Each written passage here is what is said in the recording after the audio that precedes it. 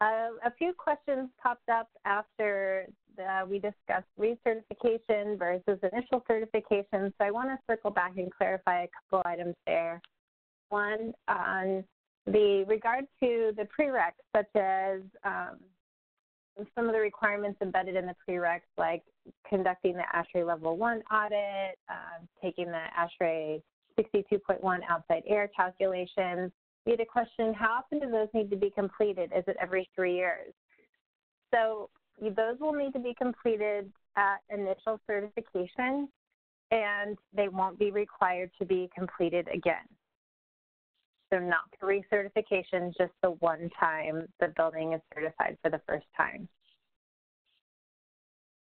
Um, going on with recertification, um, so uh, several folks have asked about transitioning from V4 to V4.1, and, and we did switch from a five-year recertification cycle under V4, and that remains, to a three-year recertification cycle in V4.1. So if you have a project, and some may still be submitting under 2009 or V4, um, the, the traditional EB way is what I like to call it, those will still have their five-year recertification period or certification period.